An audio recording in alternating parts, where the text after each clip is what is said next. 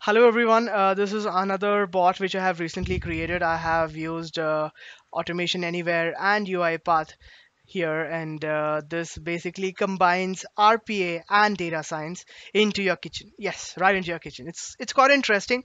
So I will tell you how I started off with this. So I uh, live alone. I cook by myself. I order groceries, and I have no idea when these things get over, which puts me into trouble. And I have to order them and have to wait for the delivery.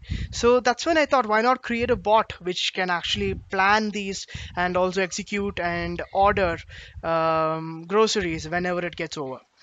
So one challenge was that how the bot would know that these groceries are over, and uh, so I've considered various aspects here, and um, I've created an algorithm to calculate that using basic math, median, and uh, average. So I've used an Excel file here. We can also use an SQL server or uh, Access database also. So the first thing is the number of people living in my house. So I've given data here for all the people living in my house. And also what if there's a guest in the house and uh, we also have to include that count as well. So I have given a guest count here and also how long the guest would stay with us, which is an auto release date after which the bot automatically removes that person off the list. And also this is the list of groceries which we need. Uh, something which came out of on top of my mind was sugar, rice, and chili powder. So I've given the default purchase quantity there and also the range in days. So it says one kilo of sugar how long it can last. It lasts for 24 days and how I calculate that. So this is purely based on accumulated historical data. So I have used a data tracking repository here and which gives me this is of course dummy data. But however when you start using this uh, solution whenever you make a purchase it records your purchase date and your next purchase date for the quantity with the number of days it lasted for and the number of people in the house. It divides it by that. So you basically get an, a median an average uh, range which this particular item can last for so another important component here was the pricing, and uh, I spoke to a lot of uh, working women and also housewives and bachelors, and the concern was that the prices keep fluctuating on Big Basket. So I've created an automation anywhere bot here, which is scheduled daily, and it extracts the price of all these items from Big Basket and it stores it onto this Excel sheet. And uh, based on that data, it identifies a pattern and gets the median price.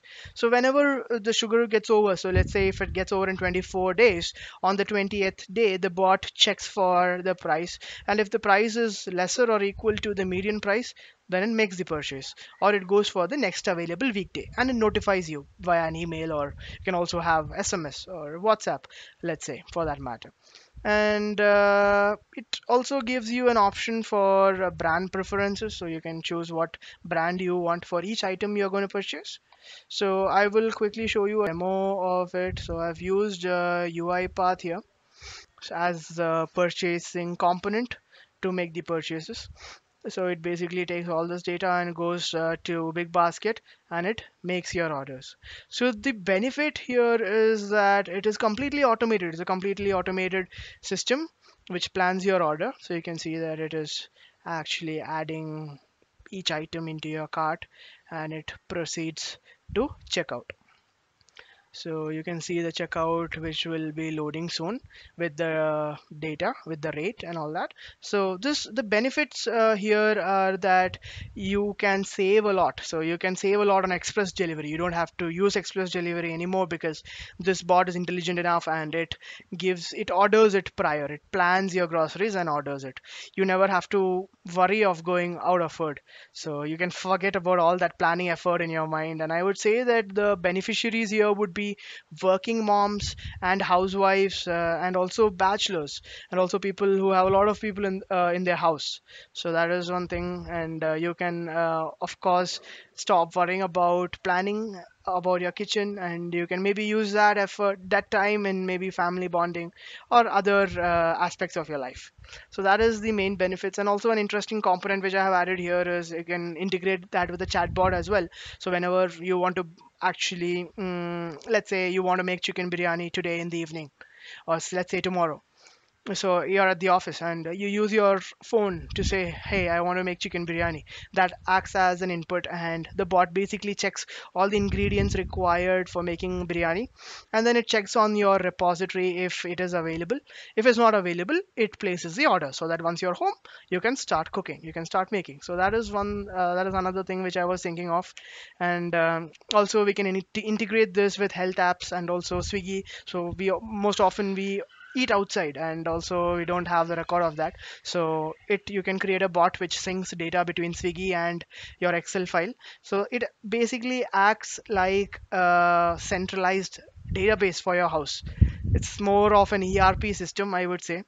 And i would call it kitchen resource planning tool. So this is how it basically works. So uh, so guys please let me know how you feel about this. And uh, i am 100% sure that there is a lot of scope of improvement. And if you think there's something else or some other feature which i have to add into this please do let me know right below in the comments. I would be uh, really happy to go through and it'll be uh, very nice of you to do that. So thank you so much uh, for watching guys. It was uh, really it was really a pleasure presenting this. And also uh, have a wonderful day and stay safe and stay healthy. Thank you